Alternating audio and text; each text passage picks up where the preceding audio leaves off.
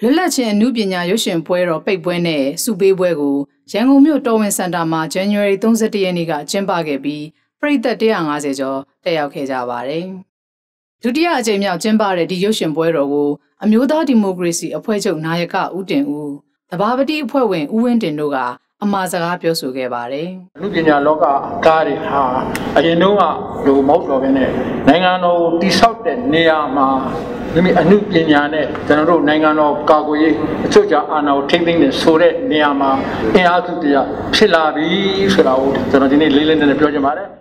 အမှုပညာဆိုတာလွတ်လပ်တဲ့အခြေခံသဘောတရားပေါ်မှာမူတည်ပေါက်ဖွားတာမဟုတ်ဘူးဆိုရင်ရှင်သန်ကြီးထွားနိုင်မှာမဟုတ်တဲ့အကြောင်းဒါကြောင့်အမှုပညာရှင်တွေရှင်သန်ပေါက်ဖွားအောင်ပြုစုပြောထောင်ပေးတဲ့ဒီရုပ်ရှင်ပွဲတော်ဟာအသေးပဲရှိတဲ့အကြောင်း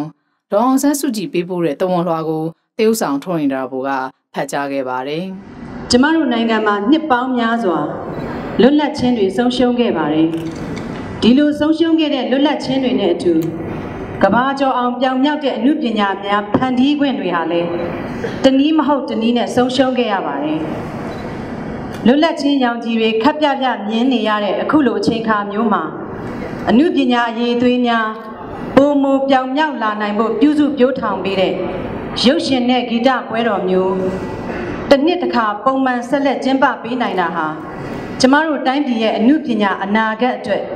များစွာအားတက်စရာဖြစ်ပါတယ်။အမှုပညာအတွက်လွတ်လပ်ခြင်းဟာအရေးကြီးသလိုတစ်ချိန်တည်းမှာပဲအမှုပညာဟာလွတ်လပ်ခြင်းတွေရှင်သန်ကြီးထွားဖို့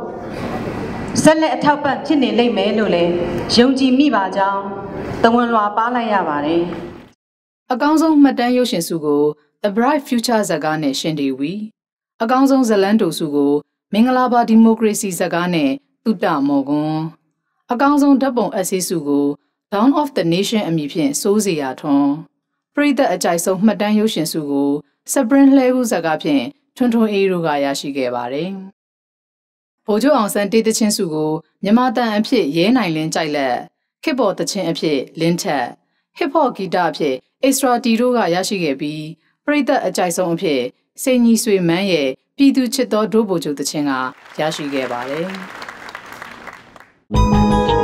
။